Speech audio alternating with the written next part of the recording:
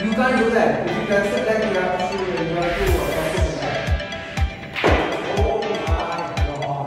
Well, the game on the course wasn't the best, so I think we uh, we got some some stuff out of here. We, we had a good time, um, and I think that uh, the fact that we aren't really playing over the next couple of days, we can at least say bye to Jaipur in a, in a pleasant way with a good game of snooker.